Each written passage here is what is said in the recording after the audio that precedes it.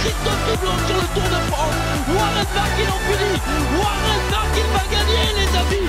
Victoire française aujourd'hui sur la 13e étape de la Vuelta. Sous les yeux de son prédécesseur David Moncoutier. Warren Barguil s'impose et offre un bouquet à la France.